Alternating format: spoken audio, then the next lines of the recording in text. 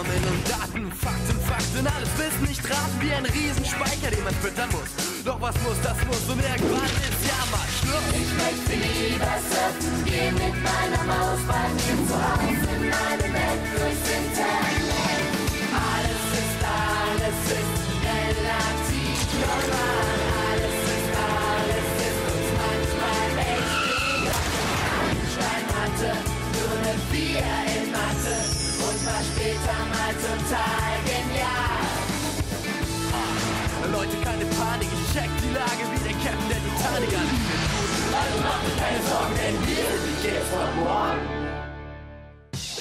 Gut, Sophie bleibt, aber vorerst nur eine Probewoche. Und du ziehst dir zukünftig Hausschuhe an. Nur widerwillig hatte sich Heiner Zech auf Sophie eingelassen. Zu Hause esse ich mit dem Finger. So. Es dauerte eine Weile, bis die beiden zueinander fanden. Oma, ich wollte doch nur alles wieder gut machen. Ich, ich wollte nur sagen, dass meine Mutter morgen kommt, um mich abzuholen. Zech schloss Sophie in sein Herz. Hiermit bewerbe ich mich offiziell um die Stelle als Opa. Und das neue Schuljahr konnte beginnen. Morgen. Morgen. Tommy! Wo ist denn der? Hier. Komm, beeil dich. Sie nicht den großen Bruder raushängen. Ich krieg den Ärger, nicht du. Wenn Emma kommt und du bist nicht fertig, dann macht sie einen auf große Schwester. Morgen, ihr zwei. Na, wie war die erste Nacht? Prima. Sehr schön. Und du, Tommy? Hast du was geträumt? Ihr wisst ja, alles, was man in der ersten Nacht träumt, geht in Erfüllung. Ich habe wieder in Hamburg gewohnt. Morgen. Morgen. Dass ich spät dran bin, aber ich habe mich verlaufen. Äh, seid ihr fertig? Justus, hat Tommy alles? Ja, alles nach deiner Liste abgehakt. Sehr gut organisiert. Wenn Emma ihre Schwester wäre, wären sie das auch. Hey. äh, kommt, wir müssen zum Frühstück. Ja, und denk dran, heute ausnahmsweise in der Cafeteria. Ja. Hat Emma auch auf die Liste geschrieben.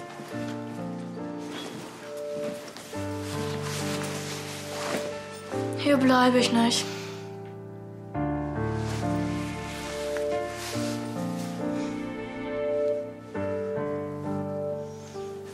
Einen neuen Lover. Und jetzt ist sie schwanger? Nee. Aber ihr neuer Freund hat einen Sohn. Und der soll aufs Einstellen. Ist ja cool. Echt? Den kannst du ja heute Nachmittag für mich zur Familienzusammenführung gehen. Mein Kosmetiktermin lasse ich ganz sicher nicht sausen. Was? Tommy träumt von Hamburg? Oh, da ist bestimmt schon wieder Tobias am anderen Ende. Mensch, Tommy. Deine letzte Handyrechnung nach dem Umzug war extrem. Mann, ich habe Mama was versprochen. das ist mein Handy. Ja, und mein Ärger.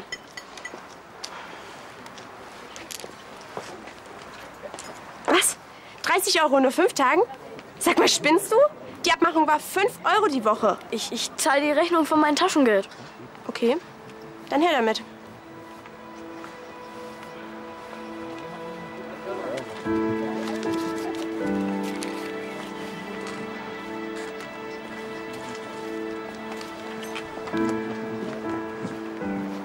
Kannst meins in Zukunft nehmen.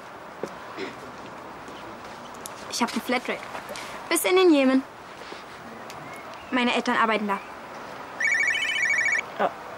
Das ist doch die Hamburger Vorwahl. Ja und? Ich komme aus Hamburg. Hi Svenja. Liebe Schülerinnen und Schüler, herzlich willkommen zum neuen Schuljahr. Ich freue mich, dass wir dieses Jahr wieder drei neue sechste Klassen bei uns begrüßen können. Ich wünsche euch allen einen guten Start, viel Freude, Neugier und Wissensdurst. Ich möchte natürlich Kommst auch die Neuzugänge in den oberen Klassen herzlich begrüßen und äh, freue mich Naja, zu Hause von Daddy kontrolliert werden und hier von Big Mother Steiner. Deutschlands bei uns haben. Naja, das ist ätzend. Aber lange mache ich das nicht mehr mit. Wir auch in diesem Jahr wieder gerecht werden wollen. Auf Einstein ist es äh, Tradition, dass jedes Schuljahr unter einem bestimmten Motto steht. Und das Motto in diesem Schuljahr lautet, schau nicht weg. Wir alle sind aufgefordert, uns einzubringen. Dabei stehen Projekte im Vordergrund, bei denen wir über den Schultellerrand hinausblicken und in die Gesellschaft gehen wollen. In Hamburg hatten wir eine Initiative Babysitting für Alleinerziehende. Geht sowas auch? Ja, eine schöne Idee. Sehr gern. Besprecht Ich kann mir nichts Besseres vorstellen, als fremde Belgier zu füttern. reicht sie innerhalb der nächsten vier Wochen ein.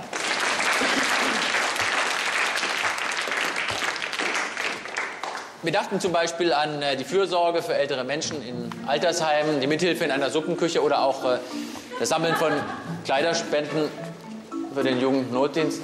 Herr Pasulke, äh, gehen Sie ruhig durch. Nur Nullen beim Frischfleisch. Das ist übrigens Herr Pasulke. Sobald ein Junge nicht reich ist, 1,80 groß und coole Klamotten trägt, mockst du. Tja, ich weiß ihm was Gutes. Äh. Ach so, ja. Ähm, Über all diesen ehrenamtlichen Der da, siehst du? wollen wir natürlich auch Der ist eine Obernull. vergessen, die an erster Stelle steht. Heute erhaltet ihr erst einmal eure Stundenpläne und äh, Echt? Danach Ich- wollen wir Ach. die Paten zuweisen. Tobias, Also ich hab so scheiß Heimweh. Tag in der Aula. Das bringt doch nur wieder Ärger. Und dein Taschengeld ist ganz weg. Tobi hat mich angerufen, das kostet nichts. Du musst Einstein schon eine Chance geben. Wenn du nur am Hörer klebst, hast du hier nie Augen für was. Schau dich um. dazu gebeten. Wir wollen dann die Paten auslosen und ja, das ist jedes Jahr ein großer Spaß. Meine Eltern sind mit ihrer Firma nach Dresden. Und wir drei sind dann hier gelandet. Wie wir drei? Ich habe noch zwei Geschwister. Emma, das ist sie. Und das ist Tommy. Oh mein Gott, der sieht ja aus wie zehn Tage Regen. Seit dem Umzug in den Ferien ist er so. Er will zurück nach Hamburg. Ich bin schon mindestens dreimal umgezogen. Von Zons nach Düsseldorf, nach Hamburg und nach Erfurt. Hier ist es am besten. Klar. Ja, wirklich, in Hamburg regnet es doch immer. In Hamburg hatte ich Tobias, Karl, Micha, Alex, Lilly. Ah. Mein Fechtclub war so klasse und die Schule war spitze. Ich war auch auf der gleichen Schule und fand sie gar nicht so toll. E-Pirat, das ist unsere neue Schatzinsel. Komm, volle Kraft voraus. Und Tante Polly, trickst mir aus. Du kannst mein Handy haben zum Telefonieren. Äh, Tante Polly aus Tom Sawyer? Psst, die darf ihren Namen doch nicht hören. Komm, lass gut sein, Justus. Für diese Gags bin ich zu alt. Tommy, es gibt keinen Weg zurück nach Hamburg. In Hamburg ist viel zu viel Wasser. Ich liebe Wasser. In Hamburg gibt es aber kein Krämerbrückenfest mit Mittelaltermarkt und Trommel. Ach, und der Hamburger Dom hat die größte Achterbahn in Deutschland. Ist das nix? Okay, aber der Zoo hier. Du kennst dich echt schon gut hier aus.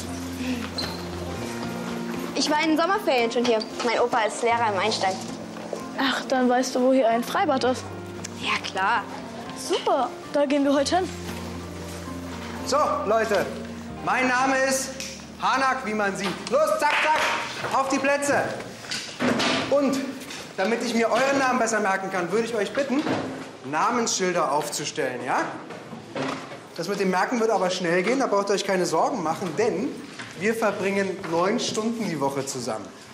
Ja, nämlich mit Sport, mit Erdkunde und, bis die neue Lehrerin da ist, Deutsch. Also an eurer Stelle würde ich mich gut mit mir stellen.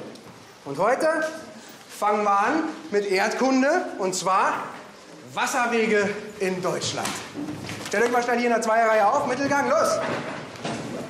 Ich verteile jetzt an jedes Paar zwei Magnetkarten mit einem Flussnamen drauf, ja?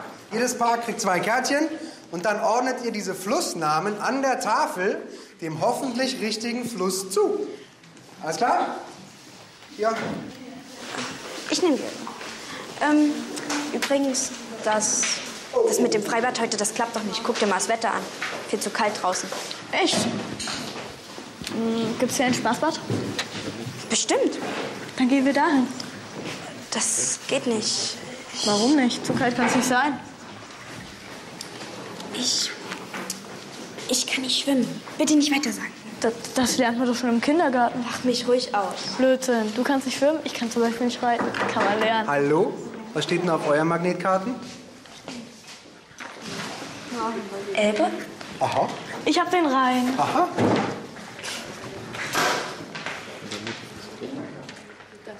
Ansonsten, liebe Freunde, ist das hier ein Desaster. Dieses Schiffchen fährt von Hamburg nach Rotterdam.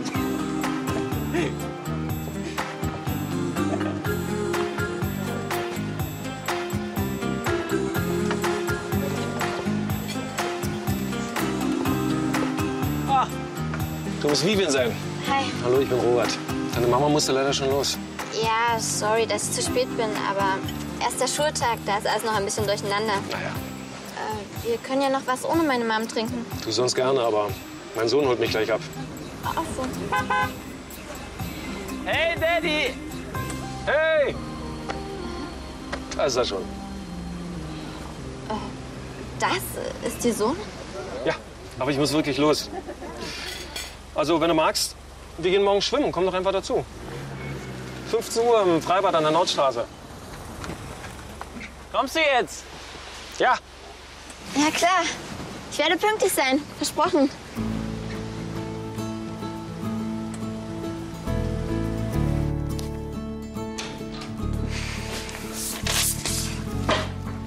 Schon Hausaufgaben auf? Ja, aber macht Spaß. Hey, Moment mal, du kannst doch nicht einfach in dem Atlas rummalen. Ja, stimmt. Ich gehe noch mal zu Emma. Soll ich dir mein Handy da lassen? Ich telefoniere heute nicht mehr. Okay. Tschüss. Tschüss.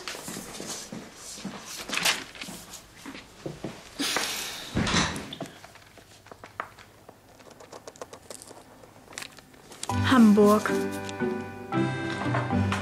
Wusstest du, Opa Heiner, dass es auf der Saale schnelle Strömungen gibt? Super gefährlich. Ja, ja. Margarete, das Brötchen darf ich? Und darüber hinaus plötzlich auftretende Schwallstrecken. Gerade bei niedrigem Wasserstand. Guten Appetit. Untiefen. Ich musste da mit Oma schon mal paddeln. Oh ja, wir hatten echt Probleme, ans Ufer zu kommen. Opa ist nicht gerade der größte Paddler.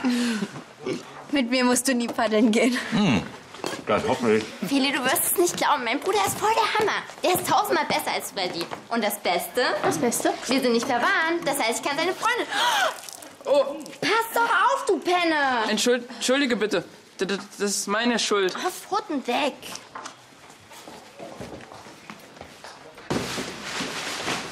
Guten Tag, Tommy Kluge, 6a. Heinz Basolke, Mädchen für alles. Ähm, sagen Sie, Sie hatten da so ein Boot heute Morgen. Kann man das ausleihen? Nee, nee, bis zur 9. geht es nur mit einem Erwachsenen als Aussicht oder mit einem älteren Schüler. Na, dann frage ich mal meine Schwester, die ist Neunte. Ja. Wo liegt denn der Kahn vor Anker? Ja, in der BFZ. Ja, ähm, äh, BFZ? ja, also im Keller. Muss schon selber rauskriegen, wo. Hey, Tommy. Hey. Hi. Äh, äh, wisst ihr, wo die BFZ ist? Ja.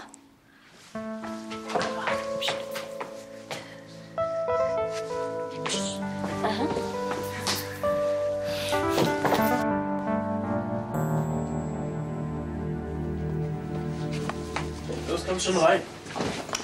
In Holland war es total spitze. Bis auf diese eine Nacht, wo es nur 10 Grad kalt war. Da habe ich mich in eine Zeitung gewickelt. Sitzen wie ein Fisch? Ach, Quatsch. Aber Zeitungen halten echt warm. Das habe ich mal von einem Obdachlosen gelernt. Warum glaube ich immer, dass sie neidisch guckt? Vielleicht, weil es so ist. Und wie ist es bei dir so? Alleine auf dem Zimmer? Absolut öde. Ich hoffe immer noch, dass Moniers Vater ihn bald wieder aufs Internat schickt. Da hat Leila aber was anderes erzählt. Boah, ist das denn? Gibt's doch nicht. Schau mal Hier sind wir einmal quer durch den Dschungel zur Agua Asyl, dem blauen Wasser. Das war spitze. Äh, was? Was habt ihr denn da im Dschungel gegessen? Na, Maden, gegrillte Ameisen und Wurzeln. Was man eben im Dschungel so findet. Oh, ih. Echt jetzt?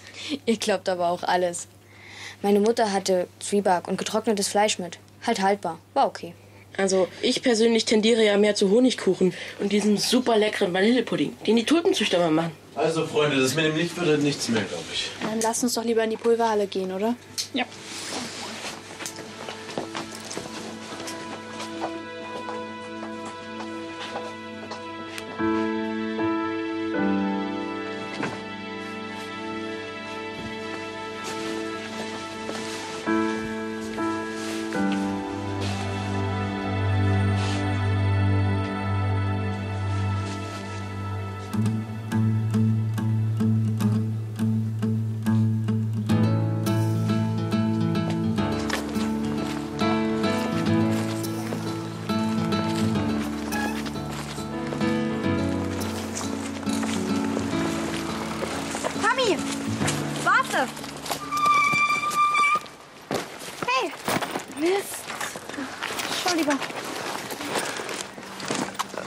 Wofür brauchst du denn so viele Äpfel und Zwieback? Ich wollte nachher ins Tiergehege. Prima, da komme ich mit.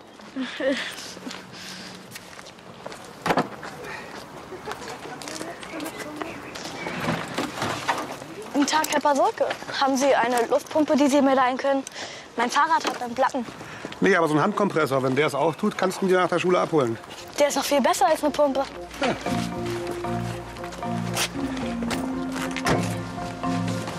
Sophie! Du bist ein Schatz, Opa Heiner.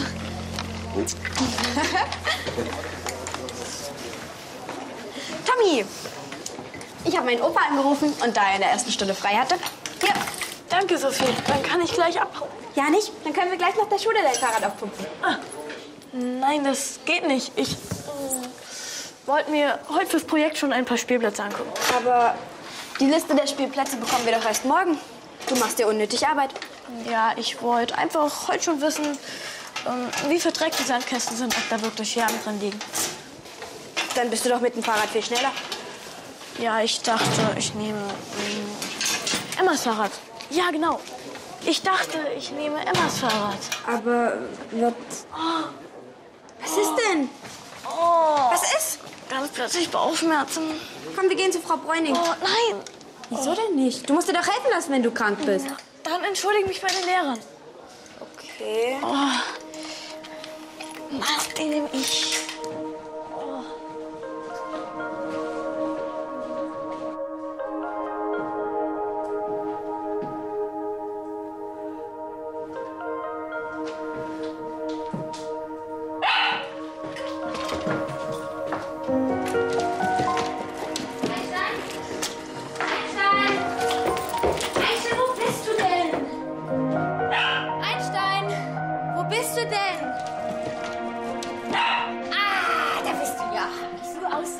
Na komm her. Oh, einfach so abzuhauen. Willst du wieder in die Hundeschule?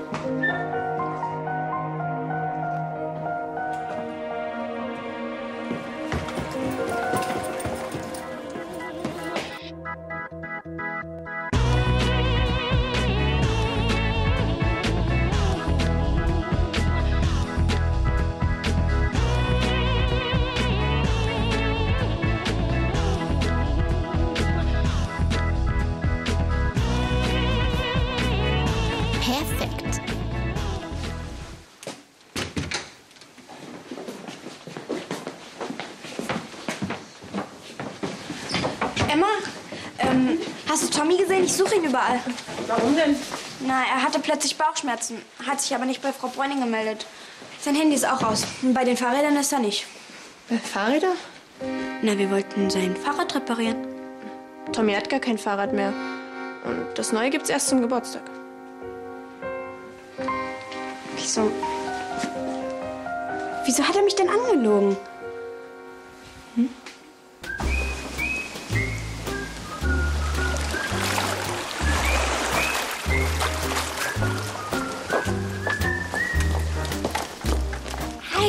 Marco sein. Ich bin Vivian, deine neue Schwester.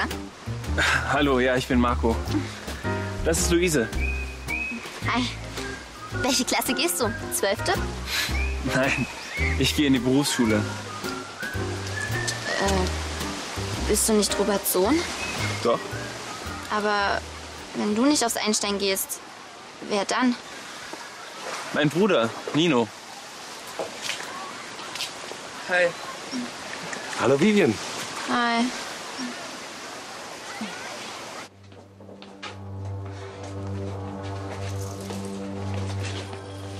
Wir haben wirklich alles abgesucht. Katakomben, Tierpark. Internat, Innenstadt, den Schulgarten. Bruno und Ronja sind ja noch gar nicht da. Wo kann er nur sein? Vielleicht hat er wirklich von den vielen Äpfeln Bauchschmerzen bekommen und liegt. Die vielen Äpfel. Und der Zwieback, die waren für eine Reise. Nichts, nada. Er wird doch wohl nicht nach Hamburg abgehauen sein. Mit dem Zug auf keinen Fall. Ich habe fast sein ganzes Geld. Doch nicht schwarz fahren. Dafür braucht er keinen Handkompressor. Ob er sich ein anderes Fahrrad genommen hat? Ähm, Sophie, hattet ihr gestern Hausaufgaben auf? War doch der erste Schultag. Nein, nur ich musste eine Strafarbeit machen. M Moment mal. Ein Boot, ein Boot, er hat ein Boot genommen. Ein Boot? Ja. Aber es gibt doch gar kein Boot. Doch. Normalerweise schon.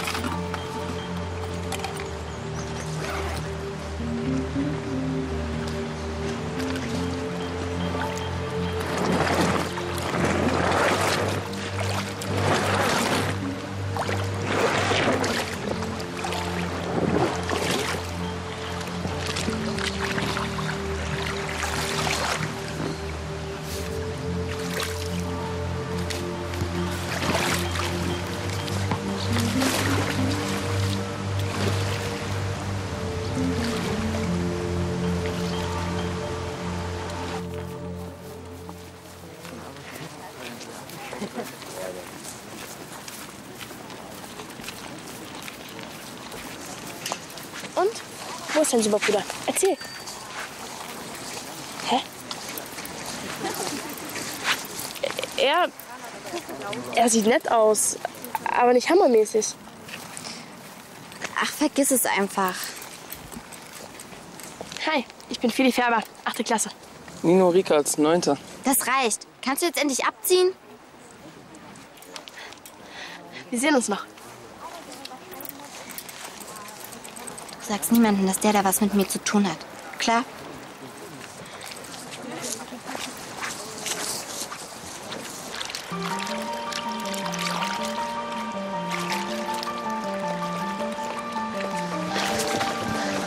Da ist er. Tommy! Ah, Tommy, bist du wahnsinnig? Das ist doch gefährlich.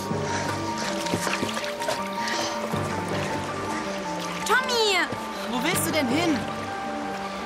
Nach Hause! Das macht doch keinen Sinn! Verdammt, halt doch an! Tommy, bleib stehen. Du kannst doch nicht einfach Deine nach Eltern Hamburg. sich Sorgen machen! Tommy, wenn ich zu streng war, ich gebe dir dein Geld zurück. Du kannst auch mein Handy haben, um zu telefonieren. Ich fahre mit dir jedes Wochenende nach Hamburg. Du, und ich rede mit Mama und Papa. Die bezahlen bestimmt die Zugfahrt. Tante Polly lassen wir hier. Tante Polly? Dein Spitzname.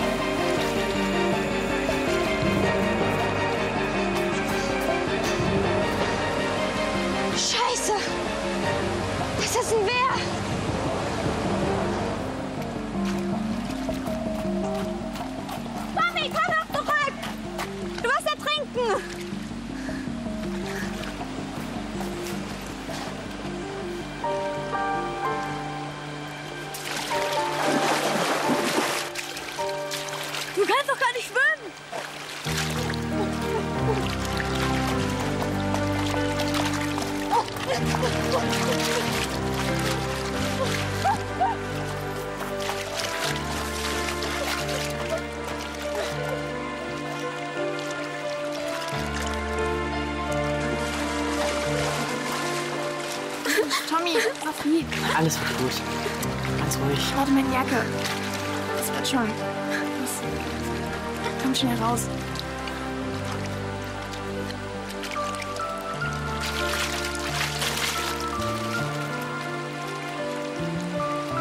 Sophie, nicht ohnmächtig werden. Sophie, warum hast du das gemacht? Du musst doch bleiben. Du bist der einzig gescheite Hamburger hier weit und breit. Ich bin auch Hamburger. Ja, ich auch. Du bist so doof.